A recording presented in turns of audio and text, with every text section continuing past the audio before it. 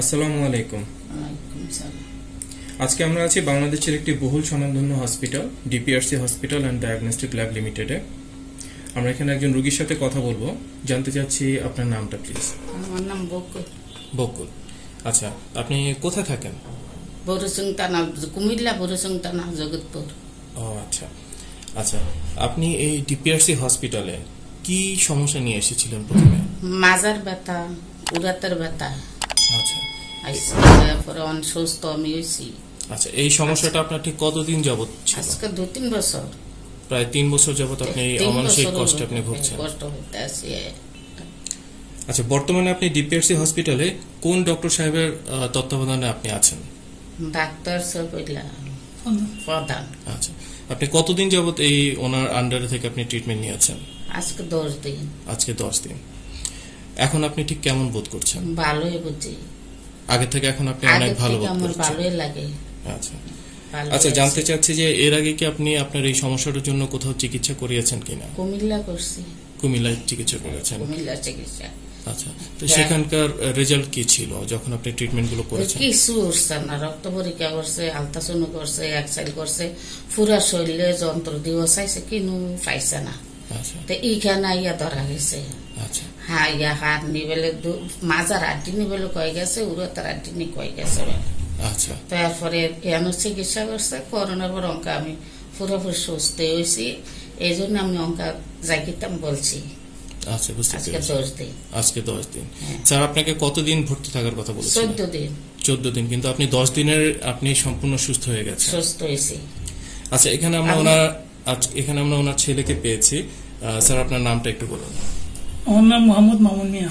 আচ্ছা আপনি কি বাংলাদেশে থাকেন না আপনি প্রবাসে থাকেন? জি স্যার প্রবাসী। প্রবাসে থাকেন। আচ্ছা জানতে চাচ্ছি আপনারা এই ডিপিআরসি হাসপাতালের ঠিকানাটা কোথায় পেয়েছিলেন ঠিকানাটা পেয়েছি স্যার ইন্টারনেটের মাধ্যমে। ইন্টারনেটের মাধ্যমে। প্রথমে। আপনি জানতে পেরেছেন। আচ্ছা আপনার মায়ের যে আগের যে অবস্থা আপনারা দেখছেন গত তিন বছর যাবত উনি মানে এই অমানসিক কষ্টে উনি ভুগেছেন। তো আপনারা বিভিন্ন জায়গায় ট্রিটমেন্টও করেছেন কিন্তু আপনারা সঠিক ট্রিটমেন্টটা ওনার পাননি। তো এখন ওনার কি অবস্থা? আপনি নিজের চোখে আপনি কি দেখছেন বলুন আগে এবং বর্তমান? স্যার আল- আলহামদুলিল্লাহ আল্লাহর কাছে লাখ লাখ শুক্রিয়া যে আমার আম্মা এখন অনেকটাই অস- সুস্থ। আগে অনেকটা অসুস্থ ছিল নেটের মাধ্যমে স্যারের সাক্ষাৎকার দেখছি এবং রোগী দেখছি। রোগী দেখার পরে যে স্যারের যে স্যারের যে ট্রিটমেন্টটা ছিল খুবই ভালো। এই জন্য স্যারের কাছে নিয়ে আসছি। স্যার বলছে এখানে ভর্তি করার জন্য চোদ্দ দিন ভর্তি করার জন্য? জি জি। চোদ্দ দিন ভর্তি করাইছি স্যার। দশ দিনের মাথা আলহামদুলিল্লাহ। আমার আম্মা অনেকটাই সুস্থ আলহামদুলিল্লাহ। আল্লাহর কাছে লাখ শুক্রিয়া দেয়া। তারপর স্যার এখন সুস্থ হয়েছে।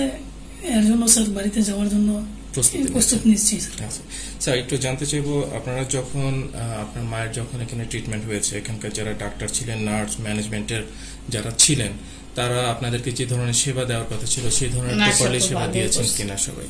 প্রপারলি ভালোই করছে। আচ্ছা আপনার ঠিক যতটুকু সেবা পাওয়ার কথা পুরোটাই আপনার দেওয়া হয়েছে। আচ্ছা জানতে চাচ্ছি এখানকার যে পরিবেশ হসপিটালের যে পরিবেশ সেই পরিবেশ সম্পর্কে যদি একটু বলেন পরিবেশটা কেমন ছিল এখানকার? ভালোই পরিবেশ। আচ্ছা। আচ্ছা আমি হাসপাতাল থেকে ভালোই পরিবেশ। স্যার জানতে চাচ্ছি যে আপনার মায়ের যে সমস্যাটা ছিল ওনার কোমরের সমস্যা ছিল এবং হাঁটুর হাড় ক্ষয় গিয়েছে। তো এরকম আরও অনেক পেশেন্ট আছে বাংলাদেশে এবং বাংলাদেশের বাইরে যারা হয়তো সঠিক ডক্টর খুঁজে পায় না বা কোন ডক্টরের কাছে গেলে তাদের ভালো হবে হয়তো তারা সেটা বুঝতে পারেন না। অনেকে দেখা যায় বিভিন্ন ধরনের অপচিকিৎসারও সম্মুখীন হন। দেখা যায় তাদের হয়তো সর্বশেষ শেষ হয়ে যায় কিন্তু তারা তাদের যে সুফল পাওয়ার কথা সেটা তারা পায় না বা তারা সুস্থ হতে পারে না, বরঞ্চ কোনো কোনো ক্ষেত্রে তাদের আরও অনেক বেশি ক্ষতি হয়ে যায়। তো সেই সব রোগী ভাই বোনদের উদ্দেশ্যে কি কিছু বলবেন? অবশ্যই স্যার, আমি বলব। কারণ যে স্যার সৈফুল্লাহ ডক্টর মোহাম্মদ সৈফুল্লাহ প্রধান ওনার যে চিকিৎসা করে স্যার এই হসপিটালে অনেক ভালো চিকিৎসা করে উন্নত মানের চিকিৎসা করে, এখানে পরিবেশ খুবই ভালো। স্যার, আমরাও দেখেন, আমরাও নেটের মাধ্যমে এখানে আসছি। আমার মায়ের মাজা ব্যথা ছিল, হাঁটুর হাড় ক্ষয়ে গেছিল স্যার। এখানে আইয়া এখানে আইসা স্যার অনেকটা সুস্থ হয়েছি।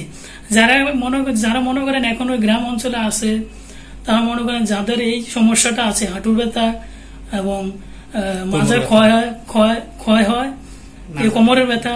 যারা এখনও অসুস্থ রয়েছে ডক্টর সাইফুল্লাহ মোহাম্মদ প্রধান স্যারের কাছে আসেন আয়সা স্যারের সাথে সাক্ষাৎ করেন এবং ওনার অধীনে স্যার চিকিৎসা করেন অনেকটা সুস্থ হয়ে যাবেন ইনশাল্লাহ আচ্ছা স্যার জানতে চাচ্ছি আপনারা যখন ডিপিআরসি হসপিটালে আপনারা চিকিৎসাধীন ছিলেন এখানকার যে সেবা আপনারা পেয়েছেন তো সেই সেবা ইয়েকে আপনারা দশে কত মার্কস দিবেন? স্যার দশে নাইন দশে নাইন দেবেন? জি স্যার। আচ্ছা। স্যার এক উপর আল্লাহ আল্লাহর অশেষ মেহরবানির কারণে স্যার আপনারা অবশ্যই এই হসপিটালে অনেকটাই আপনারা সুস্থ রাখার জন্যই নার্স ডক্টর সবাই সেবা যত্ন করেছেন স্যার। রে- মেহরবান আল্লাহ তালার জন্য। কেমন? আল্লাহ সুস্থ করার মালিক। স্যার আমরা মানুষ মনে করেন উচিলা সবকিছু ডাক্তার আছে। ওনার পর- ওনার অধীনে স্যার অনেকটাই সুস্থ হয়েছে আমার আম্মা স্যার। বুঝতে পেরেছি। আচ্ছা অসংখ্য ধন্যবাদ আপনাকে বিডি ট্যুরিজের পক্ষ থেকে আপনাদেরকে আপনাদের মূল্যবান সময় দিয়ে আমাদেরকে সহযোগিতা করার জন্য। জি আসসালামু আলাইকুম। ওয়ালাইকুম সালাম রহমতুল্লাহ বরকাত আপনাকে অনেক ধন্যবাদ স্যার।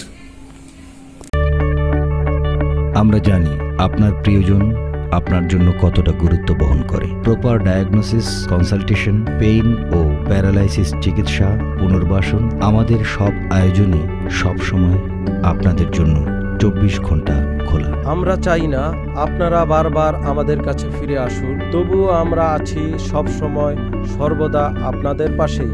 ডিপিআরসি হসপিটাল লিমিটেড আস্থা বিশ্বাস ও নির্ভরতায় অবিচল।